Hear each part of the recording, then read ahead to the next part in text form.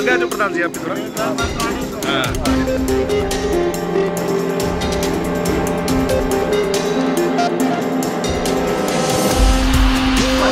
और सारे हैं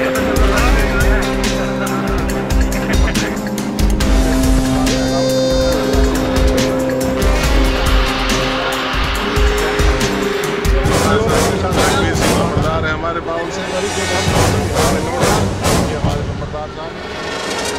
बाउल से। मैं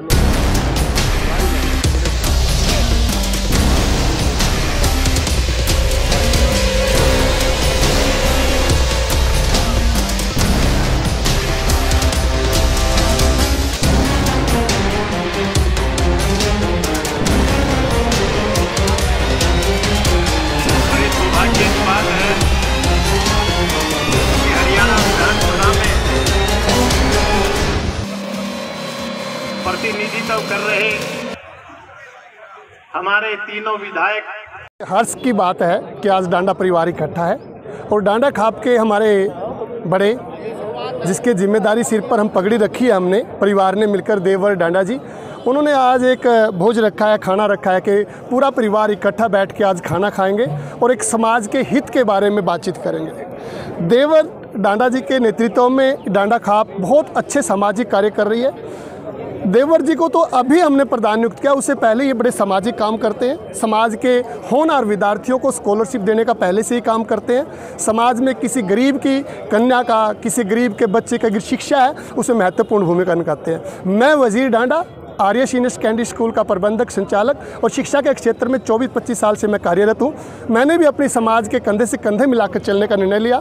मैंने अपने खाप को भी कहा कि अपनी खाप को जो भी गरीब बच्चा होगा, जो ज़रूरतमंद बच्चा होगा, मैं उसको फ्री एजुकेशन देने का काम करूँगा। और अपनी खाप को, अपने वंश को आगे बढ़ाने में अगर मेरी भी कोई आहुति डले तो मैं अपने आप को भाग्यशाली मानूँगा और मुझे अपने बुज़ुर्गों पर, मुझे अपने वंश पर, मेरे ग्रामीणों पर, मेरे मतलब के जितने ताऊ, चाचे, दादा, जितने भी हैं, मुझे अपने परिवार पर गर्व महसूस करता हूँ और अपने से युवाओं को प्रेरणा देता हूँ कि अपने पूर्वजों से प्रेरणा लेकर हम अपने इस बात विकास कार्य करने की नहीं है। बात है कि हमारा डांडा परिवार एक छत के नीचे एक साथ आया है।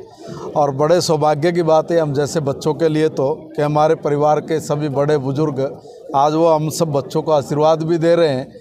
और साथ में मिलजुल कर हम लोगों को भी पता लग रहा है कि हम लोग कहाँ कहाँ हरियाणा प्रदेश के अंदर बैठे हुए हैं। इतना ही नहीं है कि अभी जैसे पता लग रहा है कि भाई जैसे अभी आदरणीय चौधरी कौल सिंह जी ने बोला है कि राजस्थान तक भी हमारे गोत्र के लोग हमारे अपने परिवार के लोग हैं।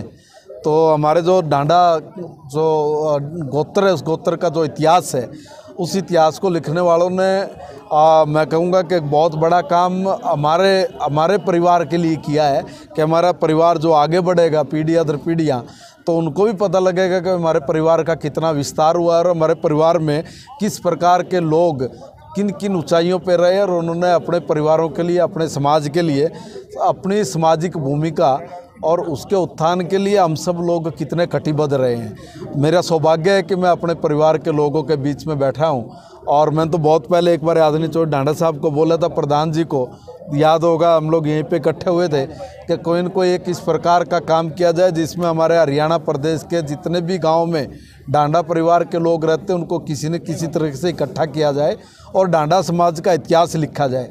इन लोगों ने उस दिशा में बड़ा काम किया है और काफ़ी हमारे परिवार के लोग बड़े जिन लोगों को इसमें रुचि थी, उन्होंने उसे एक पुस्तक का भी प्रकाशन किया और प्रकाशन के बाद हम लोगों को भी पता लग रहा है कि हमारे परिवार यहाँ यहाँ पर बैठे हुए हैं और ये सौभाग्य चोई साहब को मिला है, भाई साहब को हमारे बड़े प्रधान जी को कि भाई इन्होंने एक छत के नीचे अपने सारे परिवार को इकट्ठा किया। मैं इनका धन्यवाद करता और अपने तमाम बड़े बुज़ुर्गों को चरणों में प्रणाम करता हूँ कि अपने बच्चों को आशीर्वाद देने और इतनी दूर दूर से यहाँ पर आज एकत्रित हुए हैं। बात उत्थान की है, समाज में जैसे हमारे लोगों की संख्या बढ़ती जा रही है। अब भाई अमरजीत जी है, हमारी भाभी है कमलेश डांडा जी। अब सारे के सारे लोग विधानसभा में हैं। और कई बार ये बड़ी खुशी होती है कि गाड़ी पर कहीं अगर पीछे किसी का डांडा लिखा दिख जाए मैं तो आगे पेल कर निकाल कर उसको रोक लेता हूँ भाई रुक जा ज़रा, बता कहाँ का है? तो मुझे कई बार यमुनानगर की साइड के भी दो चार पाँच लोग मिले हैं। अच्छा लगता है अपने परिवार के लोगों के साथ मिलने से। जो जो भी समाज की तरफ़ से, हमारे परिवार की तरफ़ से, हमारे बड़ों की तरफ़ से, हम लोगों के लिए जो भी कोई गाइडलाइन निश्चित करेंगे कि भाई हमें डांडा समाज के लिए, परिवार के लिए गोत्र के लिए, हमें इस प्रकार से कुछ आगे बढ़ने के लिए कोई ठोस कार्यक्रम, कोई कदम अगर उठाने हैं तो हम लोग पीछे नहीं हटेंगे, हम उसमें जी जान से अपने परिवार के लिए काम करेंगे। जी। महिपाल डांडा, पानीपत से। को ने जिम्मेवारी लगाई थी प्रधान की मैं पूरी कोशिश करूँगा, उसको निभाऊँ।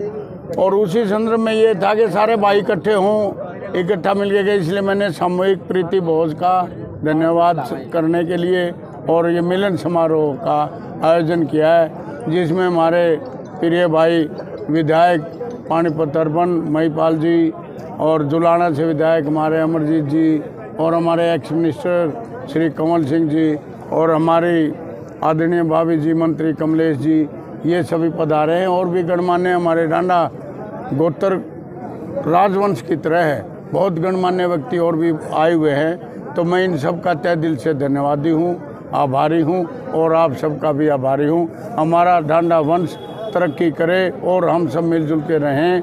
समाज में भी आगे सुधार लाने की कोशिश करेंगे और जो भी अच्छे से अच्छा कार्य होगा वो